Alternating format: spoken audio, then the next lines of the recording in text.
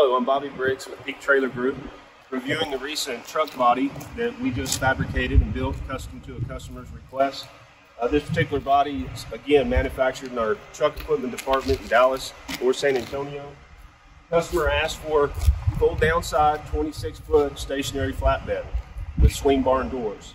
Also, he wanted the lift, lift gate, which we installed on the rear here as well.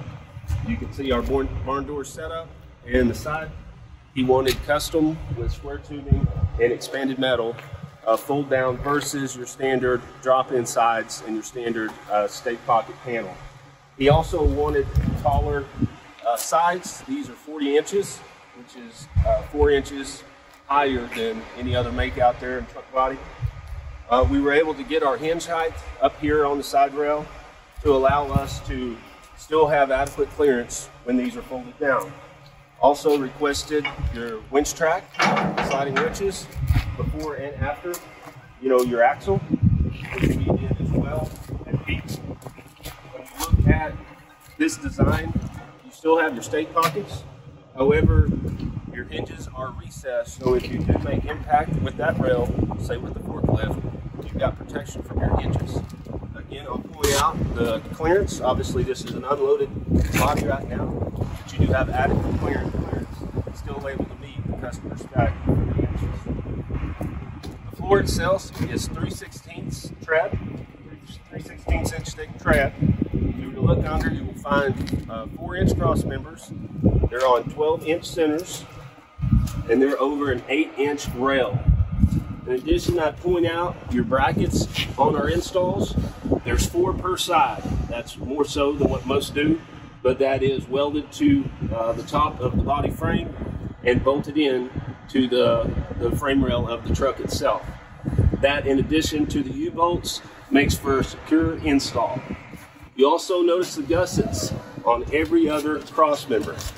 So that's every two feet, you've got gussets going from your well to your cross member for additional support and a long life.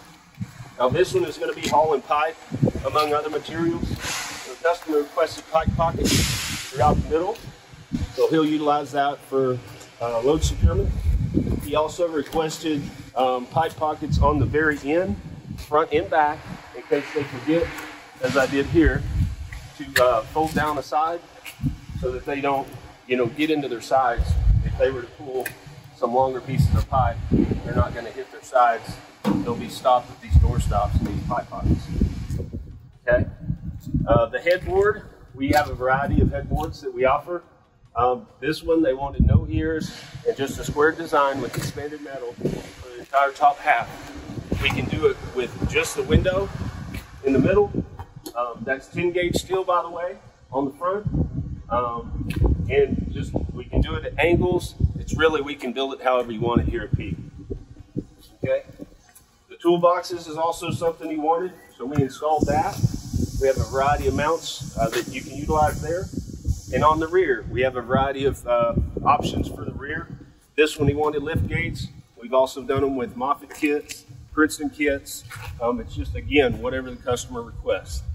This one's a stationary flatbed, however, we have done a 110 ton scissor lift dumpable uh, flatbed. Um, that one had a little bit different uh, setup as far as the uh, headboard, but again, it's just building it however the customer wants. So if you're interested in getting a quote from us, please give me a call at 214-675-0035. One last thing is the LEDs and all the conspicuous tape.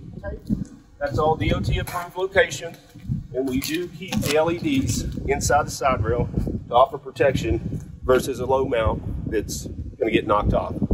So that's a review of this truck bed. We hope you call us soon.